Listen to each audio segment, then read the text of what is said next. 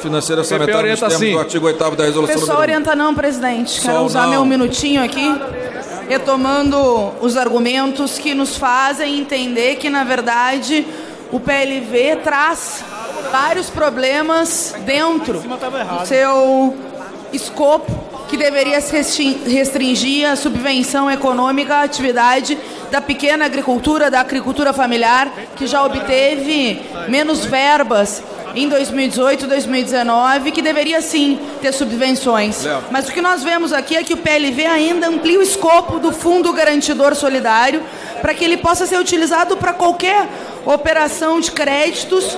ah, sem especificar que é para agricultura, fugindo inclusive a temas ah, do crédito rural. Assim como a abertura, como nós já falamos, para bancos privados, que pode ser um risco muito grande para não só os bancos públicos, mas também a entrega desses recursos para os bancos privados e, mais uma vez, a ideia de colocar os cerealistas, os grandes do agronegócio, a concorrer com os pequenos. A gente sabe como isso funciona, em geral, o financiamento dos grandes Deputado Carlos Gomes.